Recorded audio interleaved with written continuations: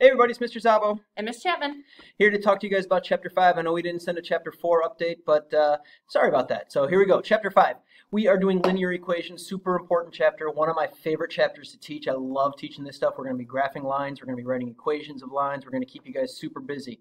We got a lot of resources if you look in the bottom left of the screen here, a lot of different videos that are about all the different material that we're going to be covering, and then we're going to have some links at the one link at the bottom for Khan Academy. Khan Academy has a great resource for this chapter.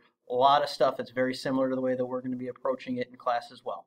This is a really important chapter. We have two quizzes um, on November 6th and the 12th are the proposed dates right now. And then the chapter test is on the 14th. And just a friendly reminder, we can only retake the chapter tests. All right, good luck in this chapter. Hope to see you guys. If you have questions, feel free to contact either one of us. For sure. Have a good one.